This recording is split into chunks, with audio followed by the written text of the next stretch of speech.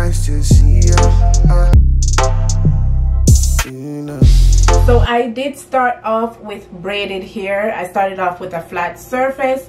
Now, um, I love to make sure my hair is braided under my turbans. I feel comfortable that way. Now, I did also put a few swirls at the front. This I do prior to putting on the head wrap. If you want to put your baby hairs at the front, if you don't want to put any baby hairs, that's fine. But I just put a few swirls at the front because I love the look of that. Now the um, head wrap I'm going to use today is this head wrap that I got from Forever 21. It's actually a scarf that I picked up a few years ago and it's my favorite. You guys probably know that because I've worn it so many times in some of my videos and um, I love it because of the stretch.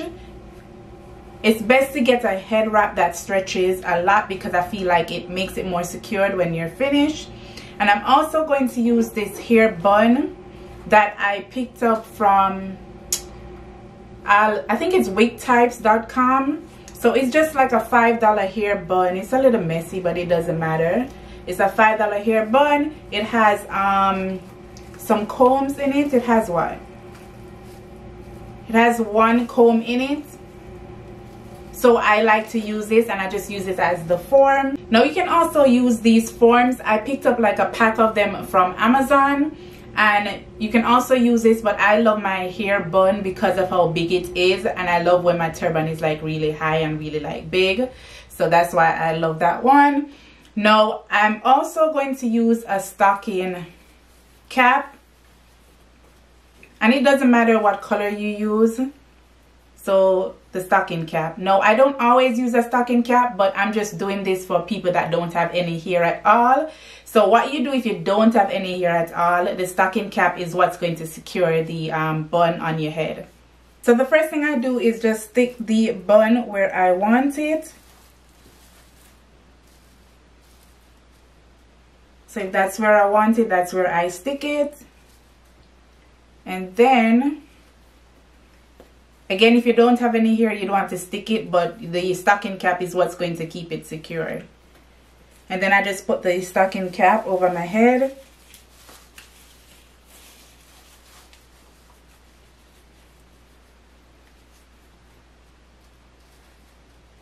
So it can stay one place.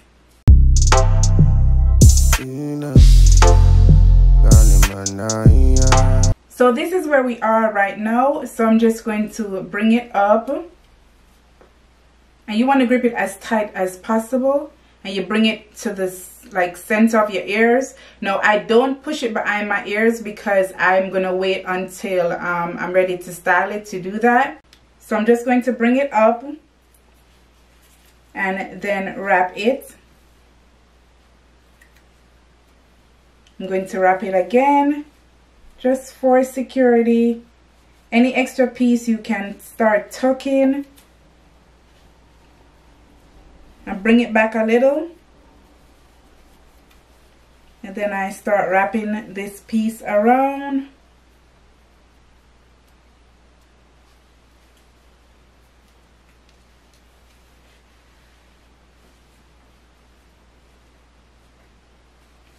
and you can style it to your liking how you want to style it.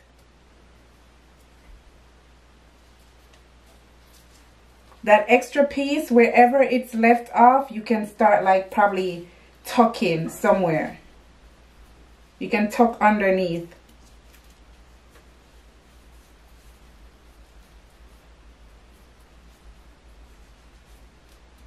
And then this extra piece again you can style it how you want you can bring it around and just tuck it wherever you please.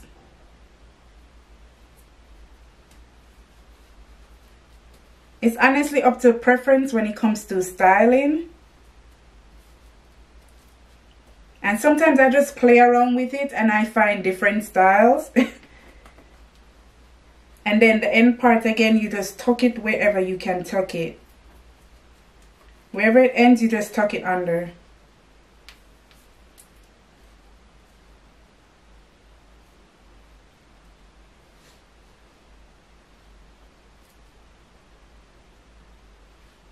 so what I do now is start bringing it behind my ears. Pull my ears out. Do the next side. Bring it back just a little bit to show a little the baby hair at the front or the swirls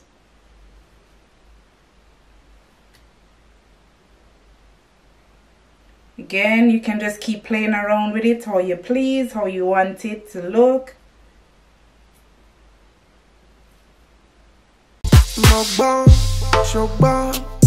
mi.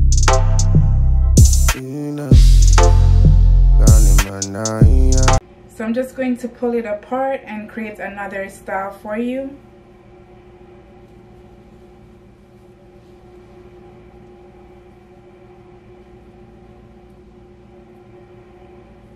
So with this piece what I'm going to do is just um, wrap it like this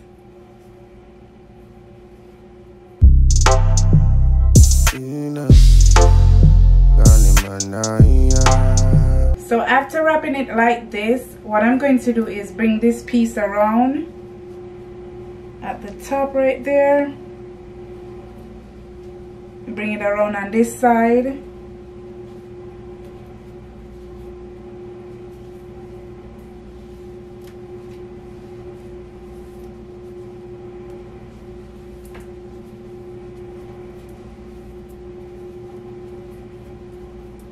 Bring it up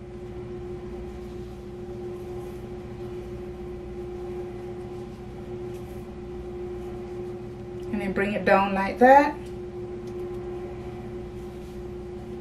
Then bring it back around and tuck.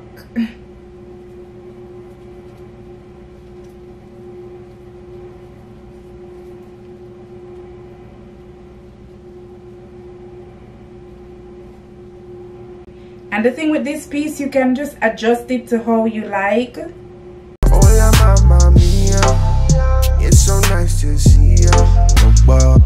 ṣùgbọ́n àpè mi ní bá ṣe jẹ́. Iná Ghanimaniya.